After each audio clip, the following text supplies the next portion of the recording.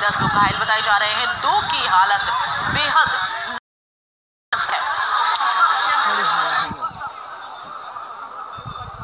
आपको बताएँ कि मृतकों में एक ही परिवार के आठ लोग शामिल हैं।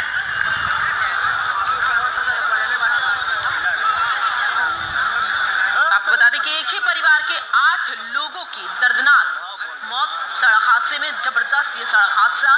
बघा की ये खबर, जहाँ आज भीषण सड़क हादसा हुआ और इस सड़क हादसे में नौ लोगों की मौत हो गई, जबकि दस लोग घायल बताए जा रहे हैं, जिनमें दो की स्थिति बेहद नाजुक बताई जा रही है। तस्वीरें आपके सामने हैं।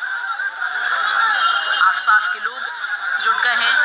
भारी संख्या में लोग जुटे हुए हैं। भीड़ देखने को मिल रही है। पुलिस प्रशासन मौके पर मौजूद और पुलिस को सामना करना पड़ा लोगों के आक्रोश का।